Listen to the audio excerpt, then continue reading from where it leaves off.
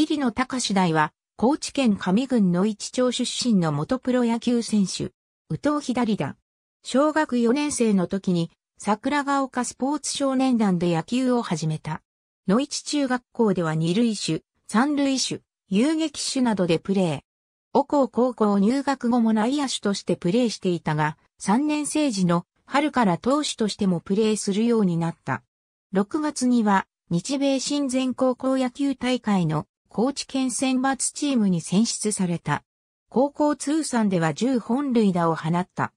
高校卒業後に一度は国士舘大学への進学を決めるも実際には入学せず、広島県にあったプロ育成野球専門学院に進んだが、同学院は1年で並行した。2008年に四国、九州アイランドリーグの愛媛マンダリンパイレーツに入団し、5年間で183試合に登板17勝9敗14セーブの成績を残した。5年目の2012年 NPB 入りできなければ野球をやめるつもりだったが、プロ野球ドラフト会議での指名はなかった。シーズン終了後、環境を変える決断をし、リーグのウェーバー工事を経て、徳島インディーゴソックスに移籍した。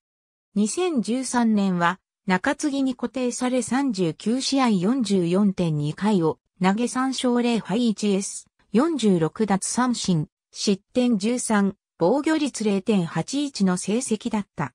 2014年の開幕直前、チームの先発投手不足により監督の島田直也から先発転向の打診を受け、前期は先発、後期は中継ぎや抑えで登板した。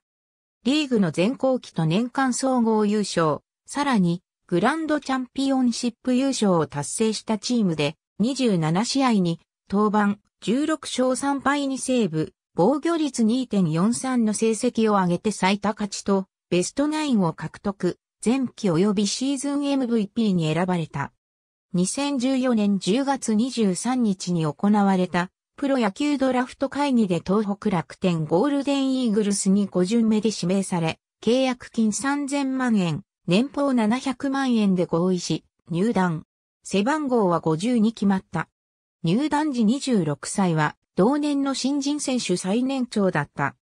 2015年、開幕1軍入りを果たし、3月29日の対、北海道日本ハムファイターズ戦の1回西の場面で2番手でプロ初登板し、3回1、3を投げ被安打7、脱三振に、吉球に5失点の成績で、翌30日に登録抹消された。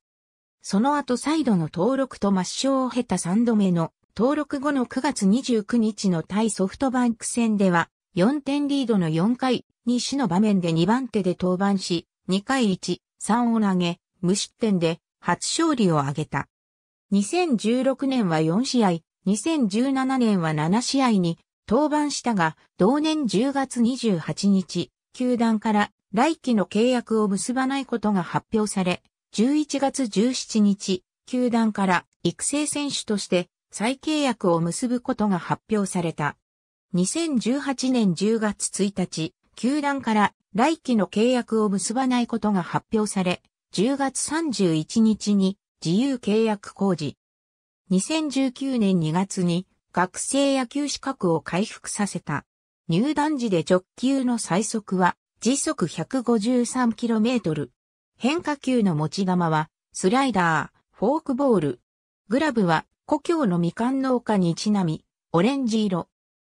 2016年1月4日に愛媛、マンダリンパイレーツ時代に知り合った看護師の女性と約4年半の交際期間を経て結婚。